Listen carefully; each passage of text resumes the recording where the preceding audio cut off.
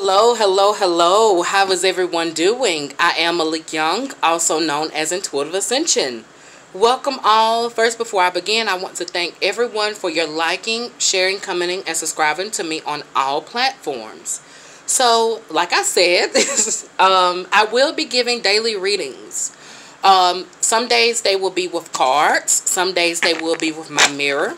Some days they will be dice. Some days it'll just be me coming on here talking to y'all about how I feel intuitively for today.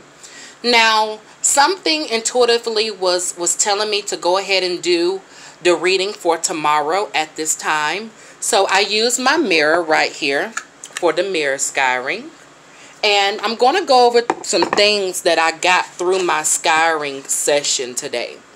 Now, one of the things I got for tomorrow, these are the three things that came to me intuitively yellow duck, lawnmower, and walrus. Now, once you break down the symbolism of, of each of these, the yellow duck represents bravery. It represents also cleanse, cleansing, removing, being happy, being comforted where you are also.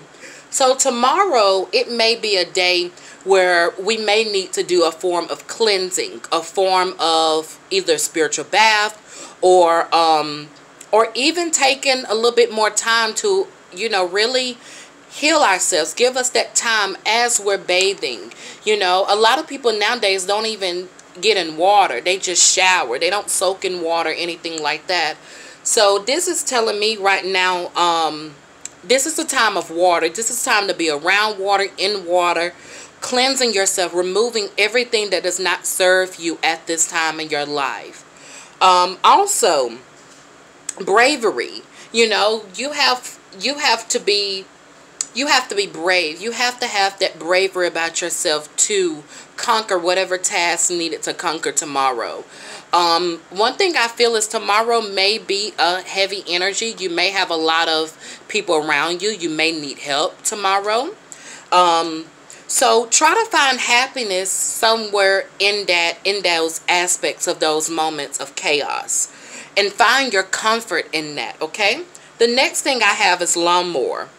Um, keep building, keep creating newness. Keep allowing newness to come to your life. Don't give up. Don't just let things get so out of control and get out of hand keep keep a routine. Keep things going. Keep things flowing tomorrow. Just like a lawnmower. As you cut your lawn what weekly every two weeks or whatever um, symbolically you have to do the same. You have to keep your appearance up. You have to keep your health up. You have to keep your vitality up. You have to keep your um your your spiritual workings up. You have to keep you up daily so as the lawnmower brings about those positive changes of newness, of happiness, go with the flow. Go with the flow. that's that's all I'm saying. And next we have wars. When you look at wars, a lot of times wars is they're around their family, they're around the the um, other wars they're connected to and everything. So this is telling me for tomorrow, kind of stay close to the people that, that gives you affection, that gives you equal that equal give and that take. Don't allow yourself to be pulled by people that don't serve you no purpose. Don't allow yourself to also be pulled by things that does not serve you a purpose.